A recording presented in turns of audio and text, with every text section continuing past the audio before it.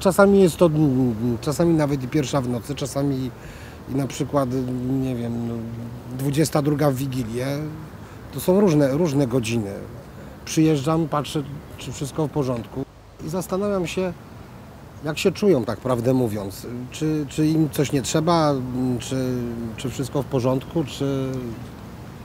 Znaczy to może głupio zabrzmi, że z nimi rozmawiam, ale tak, ale tak, tak to jest, bo mm, uważam, że każdy, każde stworzenie, czy każdy organizm na, na tej planecie ma swoje miejsce, tak? tak?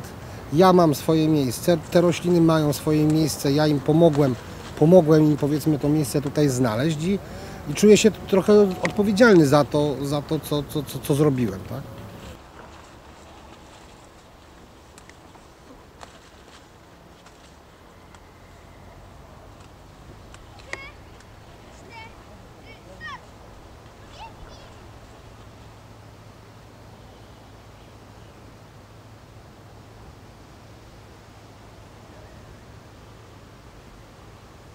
Na razie to jest na etapie bardziej ciekawości, co mi jeszcze to miejsce pokaże.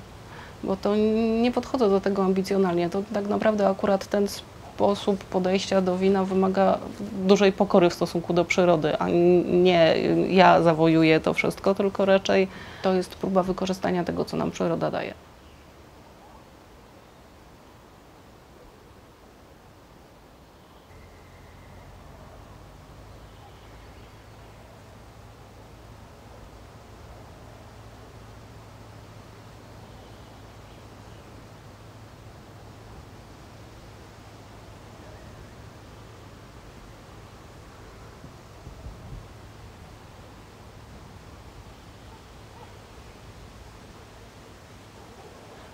Na pewno znacznie łatwiej i taniej byłoby to zrobić powiedzmy w Bordeaux i w Toskanii, co nam zresztą wszyscy znajomi mówili, jak usłyszeli, że się bierzemy za to tutaj, to się pukali po głowie i mówili, że to jest e, jakiś absurdalny zupełnie pomysł.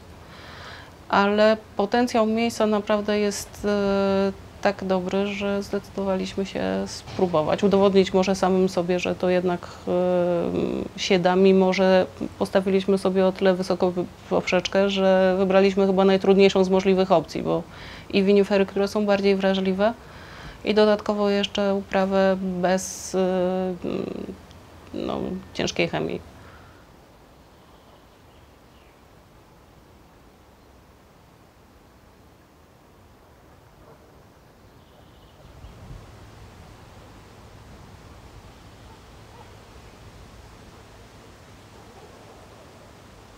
Teraz się rodzi pierwsze pokolenie winiarzy.